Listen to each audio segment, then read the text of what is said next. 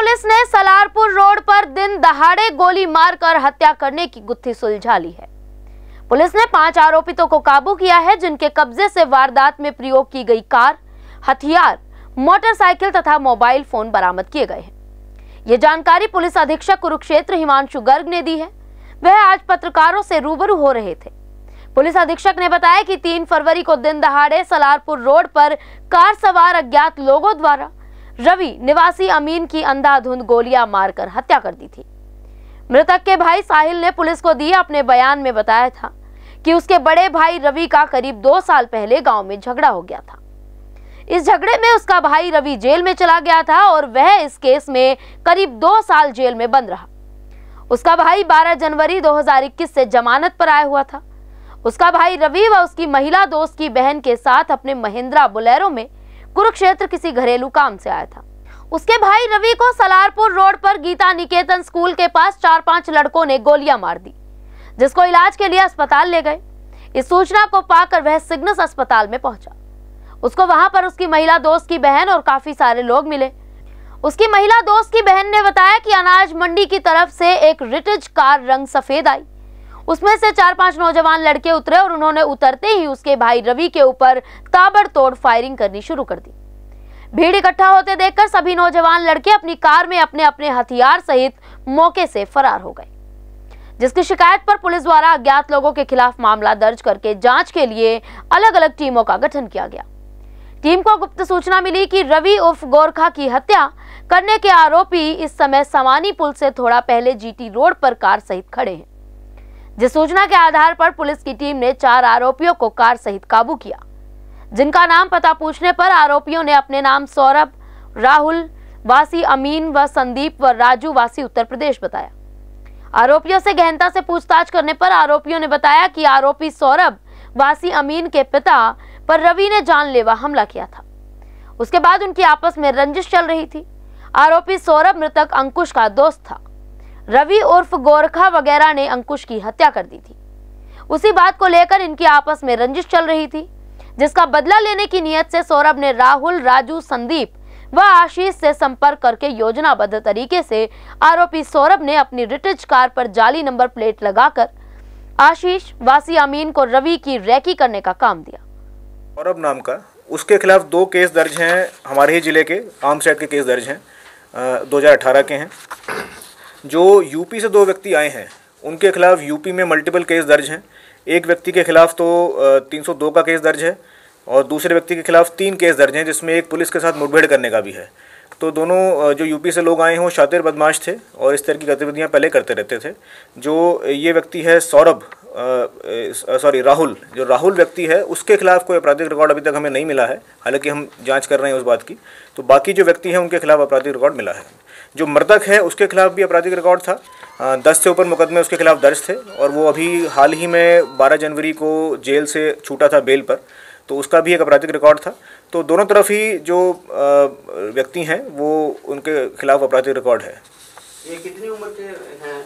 ये सारे जवान लोग हैं। ये इनकी उम्र 25 से लेकर के 35 साल के वर्ष के बीच की है। पैंतीस साल से ऊपर इसमें से कोई भी नहीं है। कुरुक्षेत्र ज़िले की सलारपुर रोड पे तीन तारीख को एक मर्डर हुआ था जिसमें रवि उर्फ़ गोरखा नाम का एक व्यक्ति था उसको गोली मार के उसकी हत्या कर दी गई थी। आ, मुझे बताते हुए बड़ा खुशी हो रही है कि हमारी जो क्राइम टीम्स थी जो लगातार इस पर लगी हुई थी उन्होंने 48 घंटे के अंदर अंदर ही जो इसमें शूटर्स इन्वॉल्व थे और जो लोग इस वारदात में इन्वॉल्व थे उनको गिरफ़्तार करने में सफलता हासिल करी है। इस केस के बारे में थोड़ा सा मैं बताना चाहूँगा कैसे कैसे पूरी घटना हुई।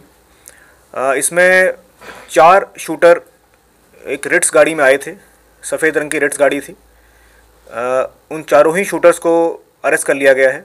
उनके नाम इस प्रकार से हैं। एक है सौरभ एक है राहुल, पुत्र जगदीश, एक है आशीष,